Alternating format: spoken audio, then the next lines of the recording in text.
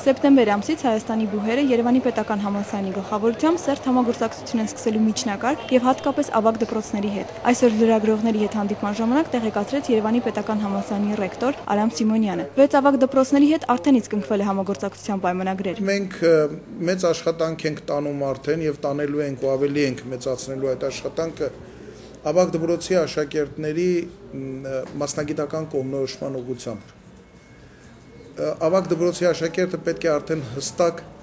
իմանա թե ինքը ինչ մասնակետ է դառնալու, ինչպիսին է լինելու իր կարիերան որ մասնագիտության գծով Ինչպես բոլոր բուհերում, այնպես էլ պետական համալսարանում այս տարի ուսանողները քիչ են լինելու։ Անկամ կան որոշ բաժիններ, որտեղ առաջին կուրս չի լինի։ Դրան հակառակ ըստ ռեկտորի զարմանալի ակտիվություն է նկատվում պատմության ֆակուլտետում։ Մեր այն հարցին, թե ինչու Երևանի պետական համալսարանում չի գործում Բոլոնյան հրճակագրի այն կետը, ըստ որի համալսարանը պետք է հնարավորինս պայմաններ ստեղծի իր շրջանավարտներին աշխատանքով ապահովելու համար, ռեկտորը տեղեկացրեց, որ այդ պարտականությունը աշխատաշուկայի վրա է դրված։ Քանի մենք չունենք զարգացած աշխատաշուկա ձևավորված, ապա բնականաբար այս խնդիրը լինելու է։ Գործատուն ինքը պետք է լավ ընկալի հասկանա, որ համասարանի հետ համագործակցել այս հարցում իրեն ձեռնտու է։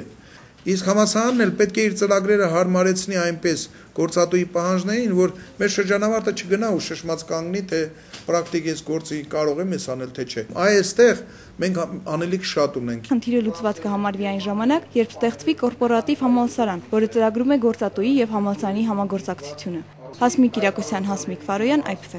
Ավագ դպրոցի աշակերտները ձեր բերեն կրեդիտներ համ